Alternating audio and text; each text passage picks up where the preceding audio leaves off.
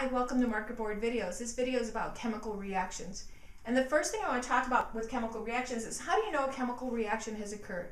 What evidence can you sense to know that a chemical reaction has occurred? Well, in basic chemistry, we look for four different things. And does, you don't need all four of these. You can have one, you can have two, you can have three, you can have all four. But if you even see one, that means a chemical reaction has occurred. So let's go ahead down the list. First thing you look for is a precipitate. And a precipitate is when you have a solid that's produced as a result of a chemical reaction. Now, I'm not talking about something like adding red Kool-Aid and blue Kool-Aid and a rock comes out of it. It's not always going to be that kind of solid. Sometimes it looks like your solution gets cloudy. And if you put it on a centrifuge and spin it around really fast, all that solid collects at the bottom of the test tube and the liquid is above it. You can tell it's been a solid. Sometimes it's a bit more obvious. You mix two liquids and this bright yellow stuff kind of falls out of solution. That's a precipitate. Second thing, or another thing you can look for is energy change. Now, by energy change, the most common way that we see energy change is with a temperature change. You may look at a chemical reaction and not be able to visually see anything, but if you wrap your hands around the test tube, you'll find that that solution got either colder or hotter, warmer or colder, and that tells you that a chemical reaction has occurred. You have a temperature change. Other ways that you can have an energy change, you may see a flash of light, you may hear a sound, or there may be an electrical uh, result. So if any of those things occur, you know you know there's an ener- or there's an energy change, which means there's been a chemical reaction. Keep in mind though that the most common is a temperature change. That's the one you're gonna you're gonna experience most often.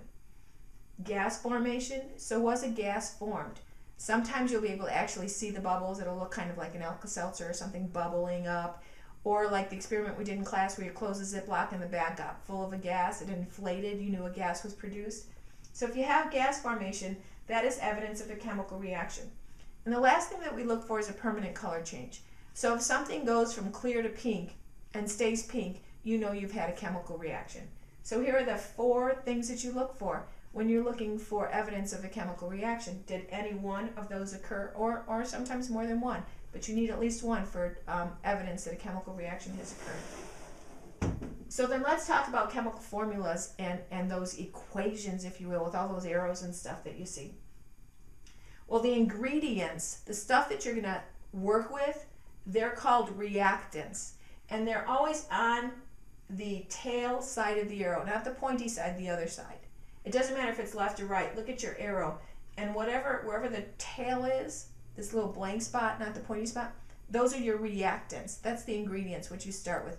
If you make chocolate chip cookies, it would be the flour and the eggs and the vanilla and the sugar and the and the chocolate chips and the all that stuff. Those are your ingredients. The results are what you get done, what you have when you're done, like chocolate chip cookies. The results are called the products. The products.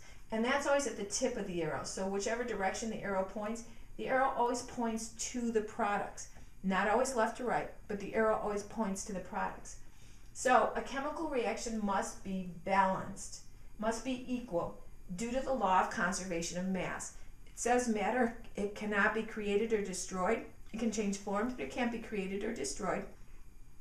So if you have so much uh, ingredients, you're going to get so many dozen chocolate chip cookies. Now I know that that differs because you make big ones and little ones, and it might say you're going to get three dozen and you only get 16 because you made huge ones or whatever.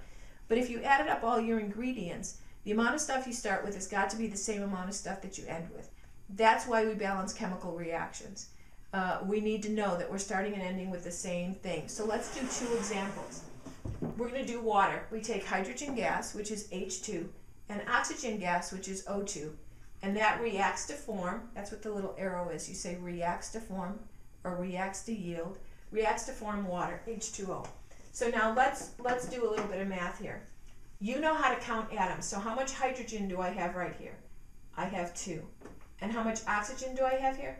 I also have two atoms, two and two. How much hydrogen do I have on this side? I have two. How much oxygen do I have on this side? I only have one. Well, you can see that I have the same amount of hydrogen on both sides, but different amount of oxygens. So I have to change something here in order to get two atoms of oxygen. The only thing I'm allowed to change is a thing called the coefficient, which is that little number in front of a chemical symbol. I can't change the subscript. It'd be great if I could just put 2 here, but H2O2 is no longer water. And we know it makes water. So if I need this to be two oxygens, I can put a 2 right here. Now I need to change some things. You have to be pretty good at counting atoms. If you're not good at counting atoms, go back and rewatch the counting atoms video. Very important that you can count atoms in order to do this. I still have two hydrogens and two oxygens. Now how much hydrogen do I have? 2 times 2. I have 4 hydrogens. How much oxygen do I have? 2 times 1. Remember we have that invisible 1 there? 2 times 1, I have 2. So now my oxygens are balanced, but now my hydrogen's not balanced. I need to go back and look at this side. Is there anything I can do here to make this a 4? Absolutely there is.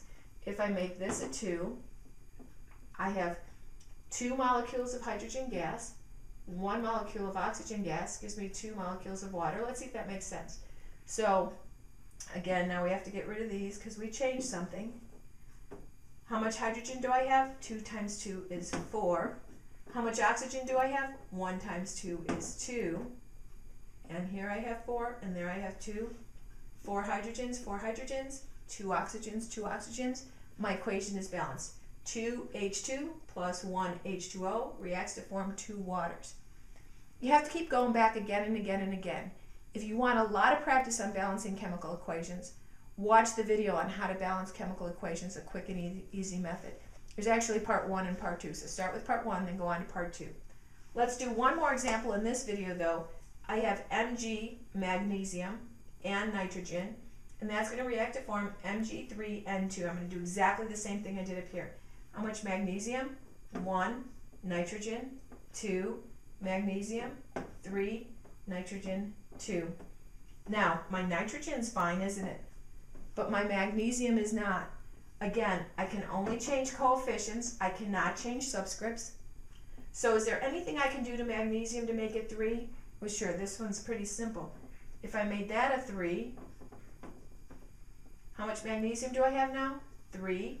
How much nitrogen? Still 2. 1 times 2 is 2. How much magnesium? 3. 1 times 3 is 3. How much nitrogen? 2. 1 times 2 is 2. Because remember we have that invisible 1 right there. Okay? So I have 3 magnesiums, 3 magnesiums, 2 nitrogens, 2 nitrogens. And I can say that that equation is indeed balanced.